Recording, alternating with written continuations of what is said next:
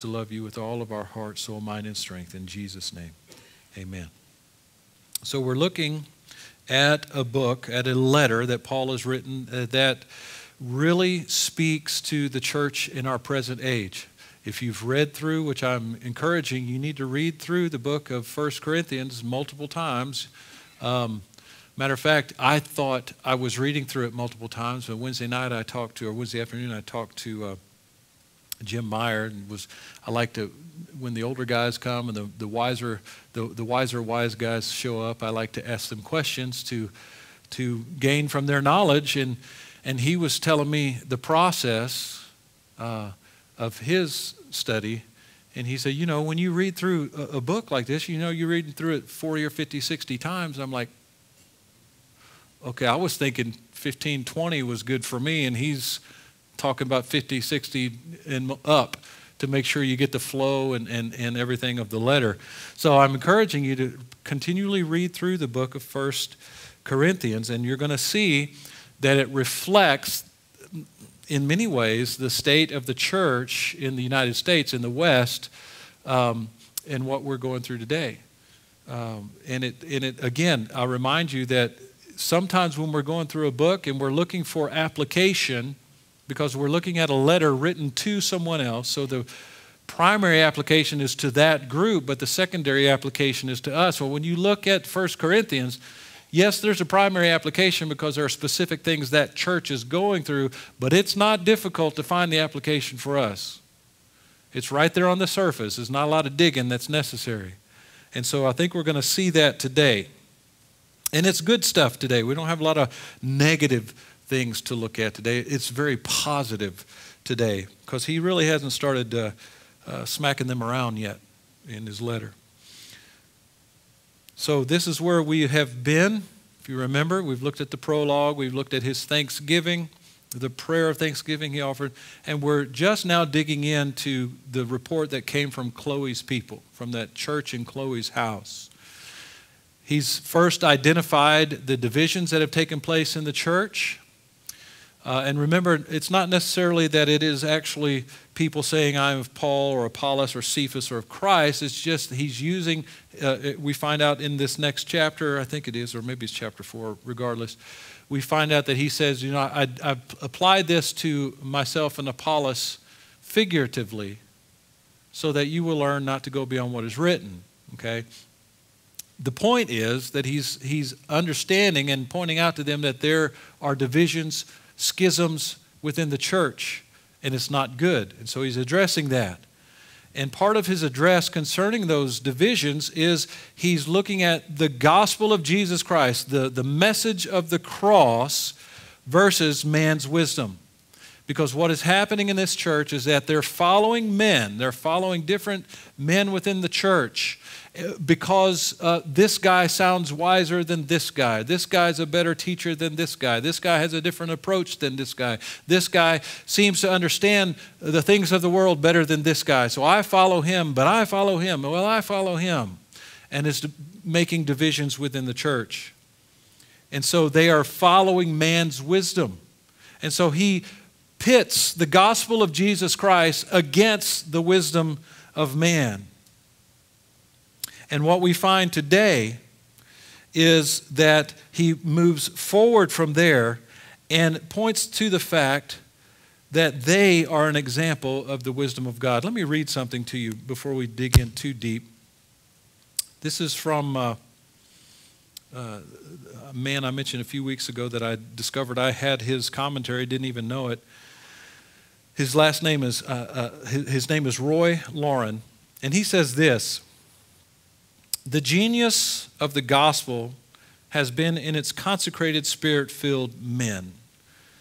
It did not advance its cause by political influence of wealthy patrons from the nobilities of society. It began in a cradle, was disciplined in a carpenter shop, tested on the highways and in homes, glorified through crucifixion, and sent worldwide through the lips and lives of common people.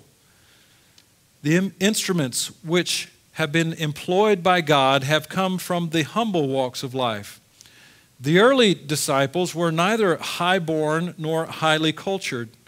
The original disciples were manifestly ill suited as purveyors of so great a message as the gospel.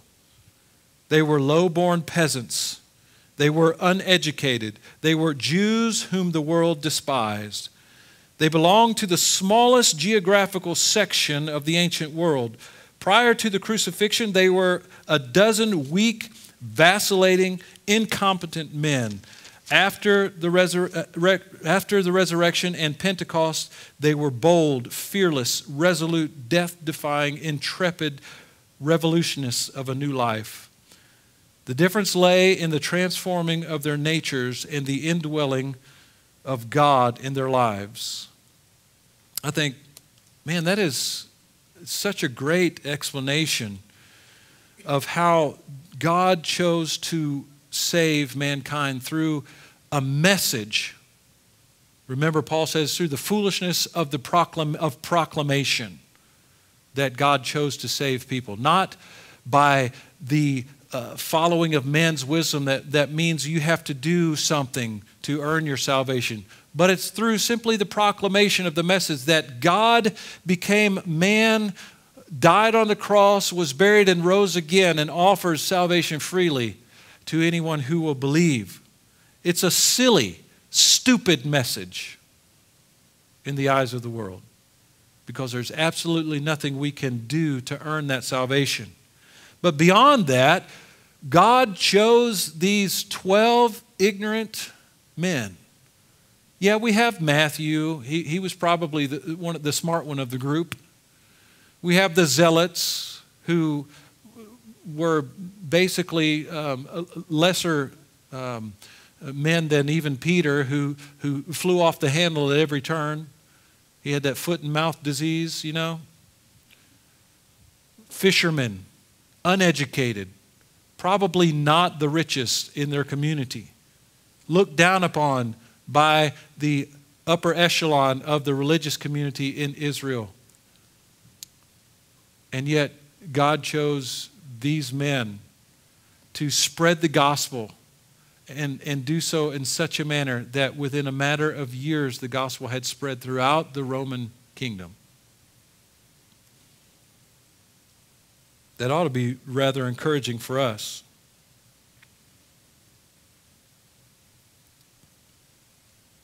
Well, Paul in verse 26 says, For consider your calling, brethren, that there were not many wise according to the flesh, not many mighty, not many noble. Paul identifies here the wisdom of God displayed. And how is that wisdom of God displayed? Well, in verse 26, he tells us. He, again, he points to their calling. In verse 26, he begins with for. That's an explanatory word that he's using here. So he's wanting to explain the foolishness of God is wiser than men, and the weakness of God is stronger than men. Let me give you an example. Let me illustrate this for you, those of you in Corinth. Consider the word literally means see or look. It means to direct your attention to something. And so he says, Consider your calling. A calling here is a noun, so it's not a verb. It's not necessarily, well, it's, it's, it's a noun. He's speaking of the fact that look at who you were or are when God called you, when God gave you the invitation and drew you to Himself, when He gave you the invitation to believe and become a child of God. Where were you? So we can say the same thing about ourselves. Look back. Was there something special about you that, that drew God's attention? Did you somehow in your persona have something that God said, I really like this guy. He's a really good fellow. I'm going to choose him. Or was it simply the fact that God, despite who you were and despite your place in society, chose you? and called you to himself. Well, that's what he's telling these people here in Corinth. Look at who you were when you were called. Look at who you are now.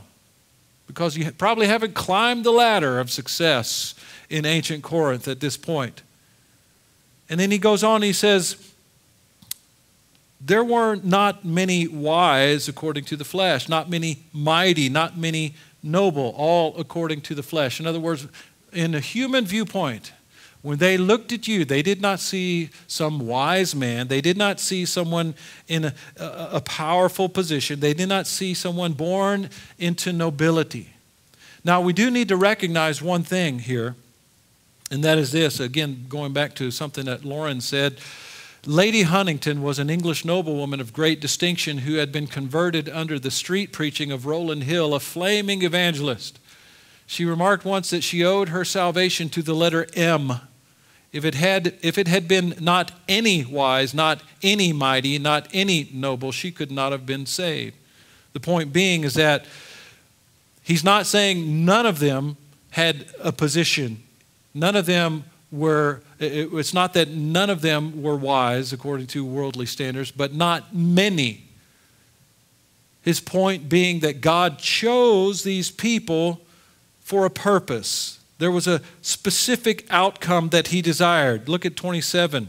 But in contrast, in contrast to having chosen the wise, the mighty, the noble, instead he has chosen the foolish things of the world, to shame the wise. Now, I know there are a lot of people in here that are really bright, really smart, probably have higher IQs than I do, because that's not really hard, let's face it, okay? And some of you laughing, you shouldn't laugh because your IQ is not as high as mine, and, and it's a sad case. So.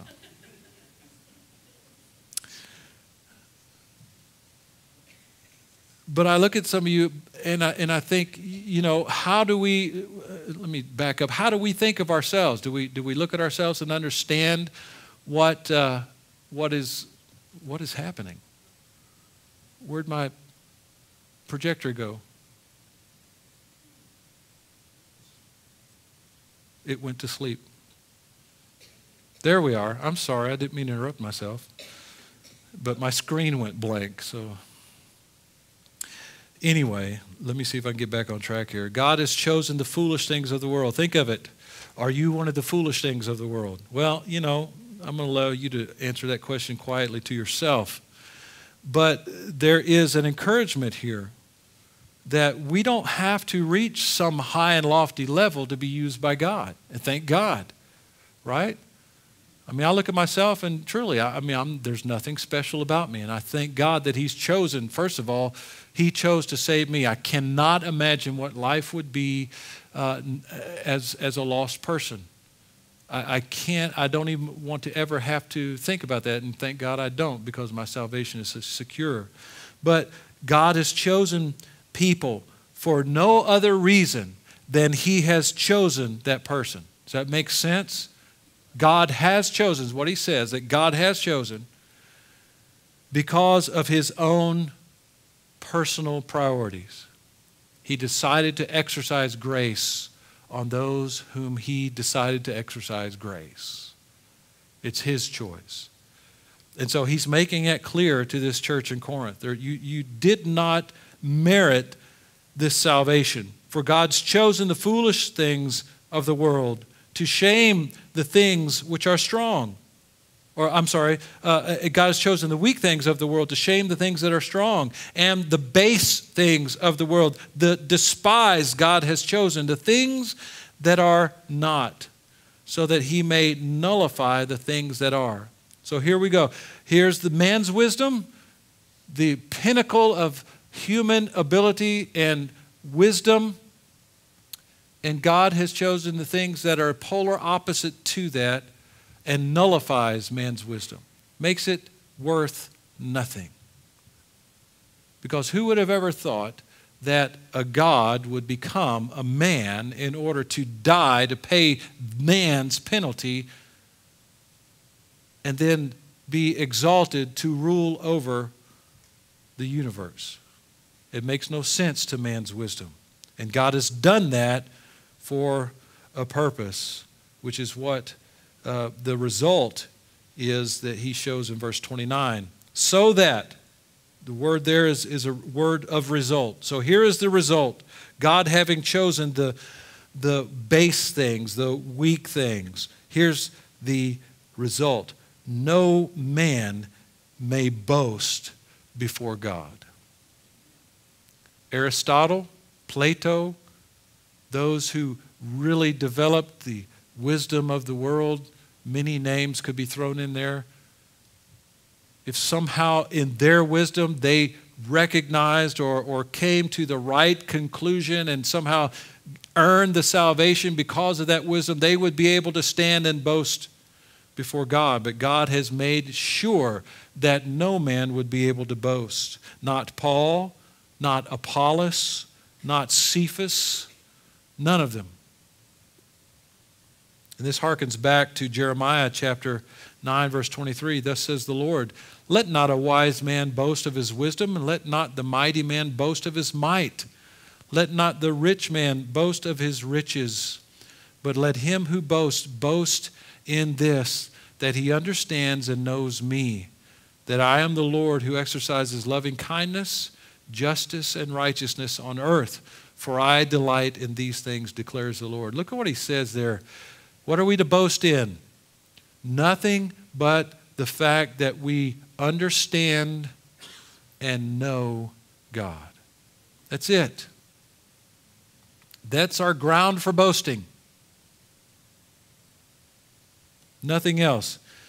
Paul says a very similar thing in Ephesians 2 8 9. For by grace you have been saved through faith, that not of yourselves. It is the gift of God, not as a result of works, so that no one may boast. So God has hemmed mankind in and will not allow us to somehow be able to move up a ladder of success to the point where we can boast before Him that somehow we have earned the right to be the children of God. It is a gift that is given. Well, Paul goes on in verses 30 and 31. But by his doing, you are in Christ Jesus, who became to us wisdom from God and righteousness and sanctification and redemption, so that, just as it is written, let him who boasts boast in the Lord. Paul points out here the purpose. Why did God do all that? First of all, we can just sum it up by saying this God has engineered things in such a way that it is God alone who receives the glory through his Son, Jesus Christ. Mankind cannot receive the glory. And what he says here in verse 30. Literally, the Greek says, But of him you are in Christ. Of God, of God's desire, of God's purpose, of God's doing. It's a good translation here in, in the New American Standard. By his doing, which includes his will and his work you are in Christ Jesus. Now, I have tried uh, I've tried to figure out this phrase, in Christ Jesus, because there are some who don't see this as a reflection of our position in Christ. And I've tried to understand that view, and it does not hold water. Paul is saying that we are in Christ. That is our position, is that now, if you are a believer in Jesus Christ, you are in Him. You have been baptized with him in his death and raised to walk in newness of life by the work of the Holy Spirit. So he says, by God's, basically saying, by God's grace, by his gracious action, he has placed us in Christ. And Christ, he says, became to us wisdom from God. In other words, Christ is the personified wisdom from God. He is a, the walking example of God's wisdom. If you wish, you can turn with me to Colossians. If you don't wish, you can turn with me to Colossians chapter 2. This is one of my favorite passages in Colossians chapter 2, beginning in verse 1. For I want you to know how great a struggle I have on your behalf and for those who are at Laodicea and for all those who have not personally seen my face, that their hearts may, may be encouraged having been knit together in love and attaining to all the wealth that comes from the full assurance of understanding, resulting in a true knowledge of God's mystery, that is, Christ Himself, in whom, in Christ, are hidden all the treasures of wisdom and knowledge. I say this so that no one will delude you with persuasive argument.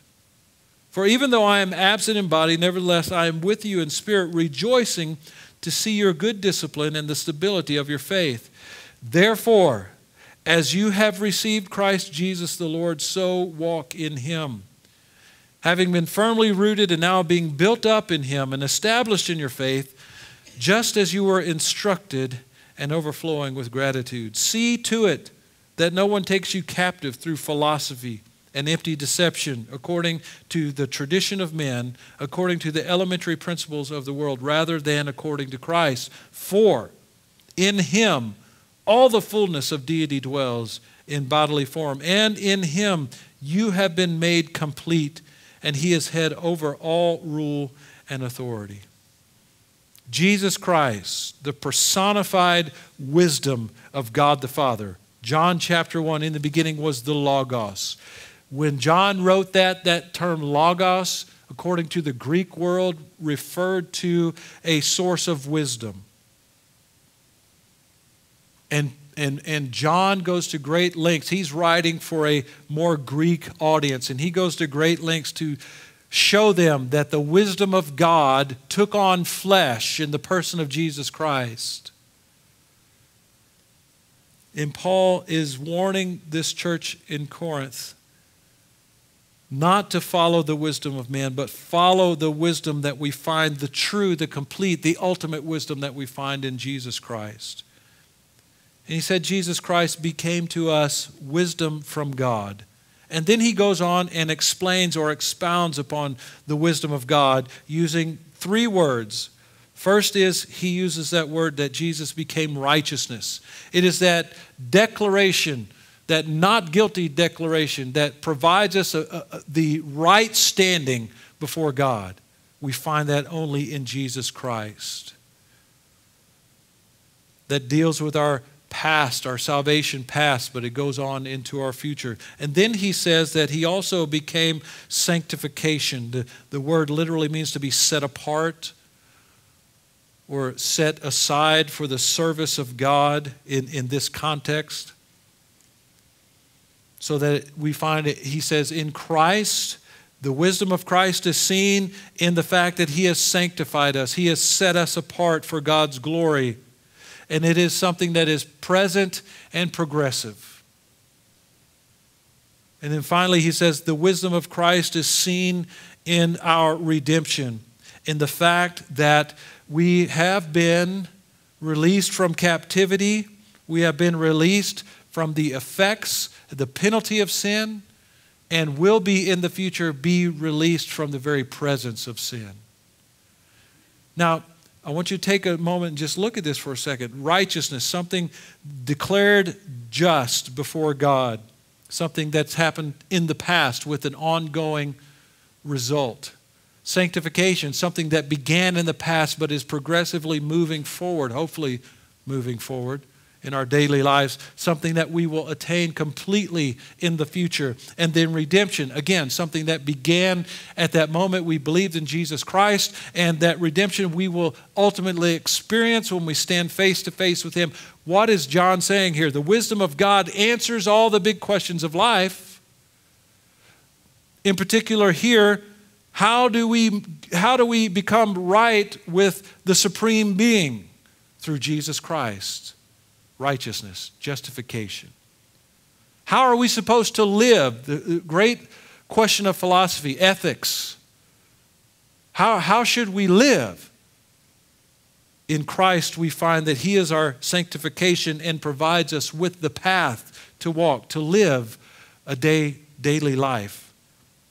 Redemption, where is our future lie? What is going to happen when we're gone from this earth? Redemption answers the question for the Christian in that we will be utterly set free from even the presence of sin. There's the wisdom of God expressed in Jesus Christ. And again, Paul directs us in verse 31 to the purpose so that he who boasts boasts in the Lord. Jeremiah 9, verses 23 and 24. Again, we, we've already looked at that. So, what does all this mean for us? Well, once again, I, I, just reiterate the fact that we don't have to dig a lot to find application for ourselves. First of all, the Corinthians were illustrations of God's wisdom. He chose them for their lack of earthly wisdom, for their lack of being held up in a noble position or having some position of great power or authority. And I can look at myself. I come from a lower middle class family. My dad was in the Air Force for 20 years, worked civil service for another 20 years or so. And I'm sure they scraped by to, to make ends meet. People would look at us and say, There's nothing special about those Spurlins. And I think the Spurlins would look at ourselves and say, Yeah, you're right. There's not. And yet God has chosen my entire family, to, to my knowledge, chose to save us chose to use us to spread the gospel in various ways, various capacities. Not all of us are doing that, but that's their problem. I can't help, help that.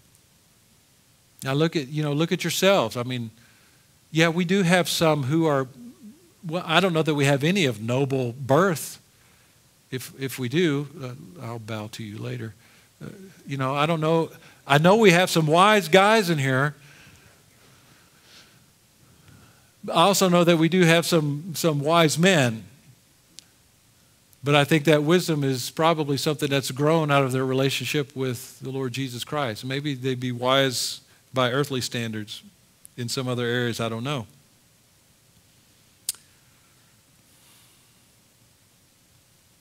But we are just like those, we are just like those uh, Corinthians.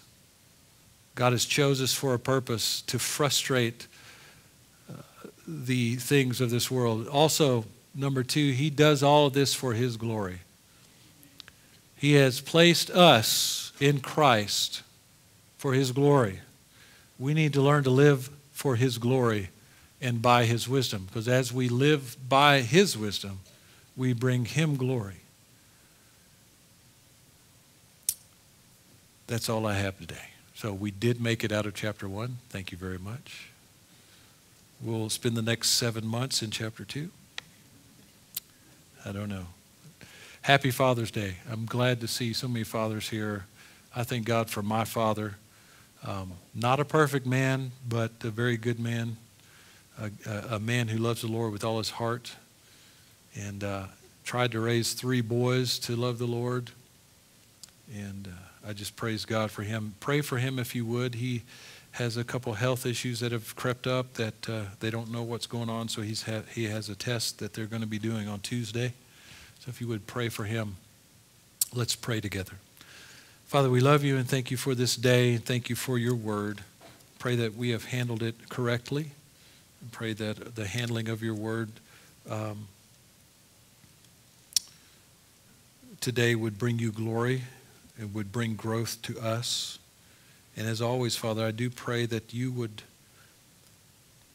help us to be zealous to share the gospel with those who need to hear. Help us to be better equipped as we leave this place and more motivated to share the truth with a world that is more and more daily believing the lie from Satan. Thank you for loving us. Thank you for allowing us to become your children. In the name of your Son, Jesus, we pray. Amen. Please stand and sing with me.